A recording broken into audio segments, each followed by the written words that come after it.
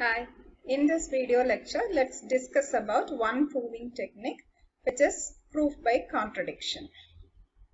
In this technique, we wanted to prove that a statement P is true.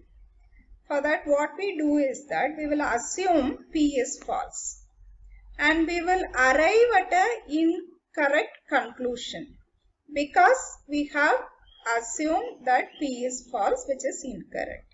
So this is a contradiction that we will meet and therefore we will claim that P is true. We'll see an example. The claim is root 2 is not rational. We will assume that this is a rational number.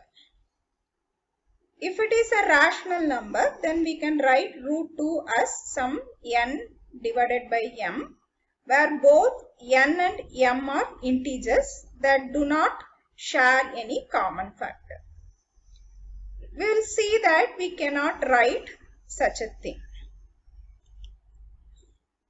So since we have assumed that it is rational, root 2 is rational, we have written root 2 equal to m by n by m. We'll square both the sides. So we'll get 2 equal to n square divided by m square. Bring the m square to the left hand side. We'll get 2m squared equal to m squared. Since this is a multiple, left hand side is a multiple of 2, we know that the result is a even number. That is 2m squared is a even number. That means what? n squared is a even number.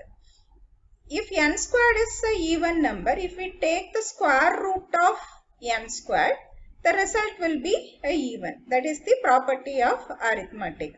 If we take the square root of a even number, the result is also even. So, since n squared is even, when you take the square root of n squared, n will be even. So, we will write n as some 2k because k can be anything. Since we have a 2 as a factor, this product will be even.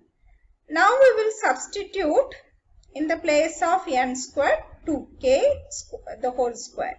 So 2m squared is equal to 2k the whole square which is equal to 4k squared. If you, if you cross 2 with 4, we get m squared with equal to 2k squared. Now what can we conclude from this? 2k squared is a even number. That means that m squared is a even number.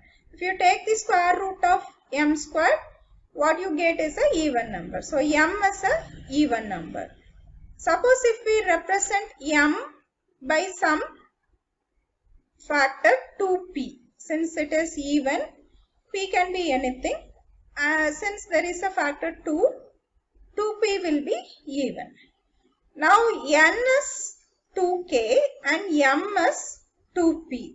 That means that they have a common factor 2 which is a contradiction to what we have assumed that n and m are integers which do not share a common factor. Now we have arrived at the fact that or incorrect conclusion that n and m have common factor. This is because of our false assumption that root 2 is a rational number and thereby we conclude that root 2 is a irrational number. In the next video, I'll come up with another proving technique. Thank you for watching this video.